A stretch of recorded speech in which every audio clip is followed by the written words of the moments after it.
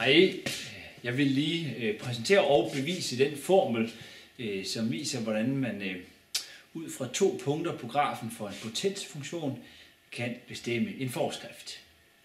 Øh, og først lige en præsentation af, hvad det egentlig er, sætningen siger. Den siger, at hvis vi har en potensfunktion,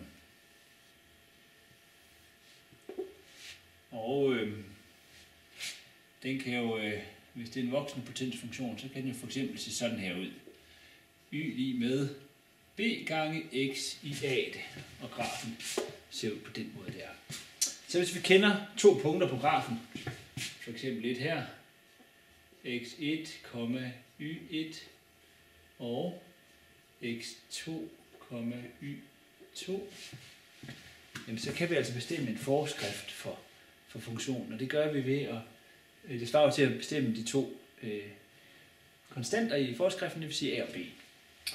Og A, den bestemmer vi ved denne her form her, logaritmen til øh, y2 og minus logaritmen til y1 divideret med logaritmen til x2 minus logaritmen til x1. Og hun har jeg skrevet det med øh, tidsakslogaritmen her, men man kunne sådan set også bruge den naturlige logaritme. Og øh, b-værdien, ja, den bestemmes jo ved y1 divideret med x1 opløftet i a, og det samme virker også, hvis man bruger y2 og x2, sådan der. Ja, så det kommer der et bevis for.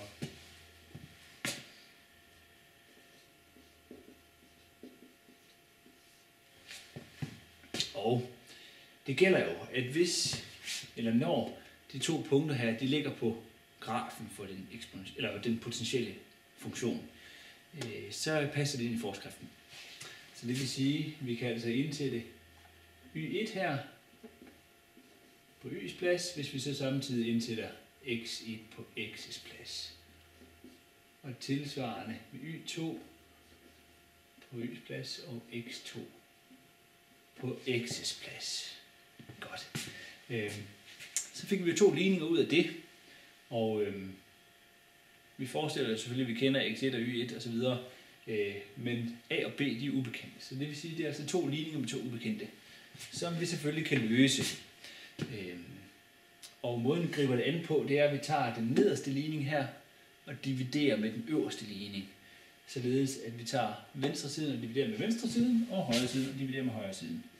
Så y2 divideret med y1 er så lige med b gange x2 opløftet a, divideret med b gange x1 opløftet i a.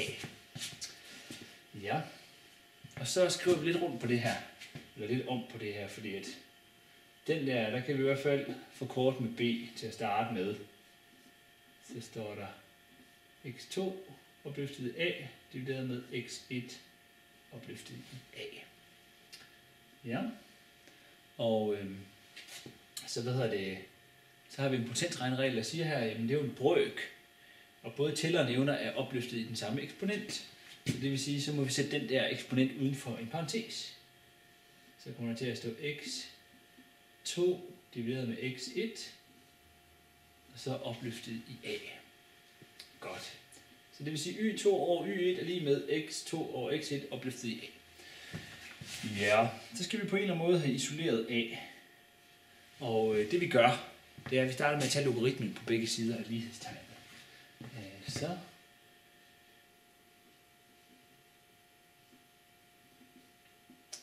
logaritmen til y2 og y1 er jo så lige med logaritmen til det her. Lige med logaritmen til x2 over x1, og så skal det opløftes i a. Sådan. Mm.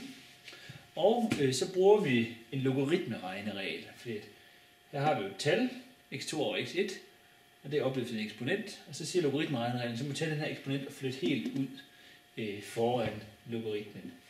Så det er altså lige med a gange log x2 over x1. Sådan der. Ja. Øhm. Vi skal isolere A, og nu er det lige pludselig ikke så svært, for det, vi har bare en størrelse her, vi har gange med, så den skal vi dividere med. Så, så kommer der altså til at stå A lige med den her log y2 over y1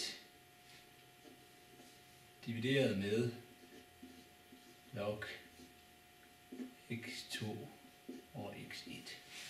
Så har vi isoleret A. Men hov, det der, det er jo ikke det samme som det der. Nej, det er det ikke. Og så alligevel, fordi at, øh, vi har jo en anden øh, logaritmeregneregel, øh, som siger, at logaritmen til en brøk, jamen der kan vi tage logaritmen til tælleren og trække logaritmen til nævneren fra. Så det der, det er faktisk bare en anden variant af den samme formel. Den kan omskrives ved hjælp af logaritmeregnereglen.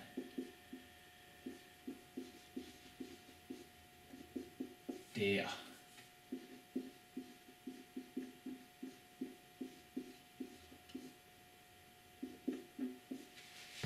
Så.